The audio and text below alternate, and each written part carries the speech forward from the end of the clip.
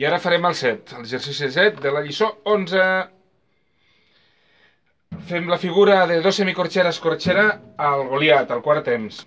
Us recordo que vull dir, jo ho reparteixo així perquè sigui més entenedor, cada temps, a una peça, i així com toquem un compàs de 4x4, cada temps serà una peça diferent, ho podríem repartir d'altres maneres. És molt probable que tinguem una bateria amb menys timbals. I llavors eh, puguem fer dos temps aquí, un aquí i un aquí, un aquí, un aquí, aquí i aquí, un aquí, dos aquí i aquí, un i un i dos. Totes les combinacions són bones. Eh, nosaltres només ho fem així, ja que disposem de, de prou timbals per repartir un per cada temps. Apa, anem-hi!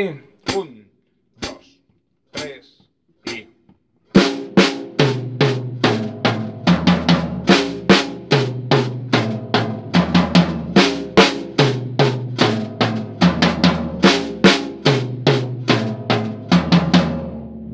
Bé, ja tenim el set.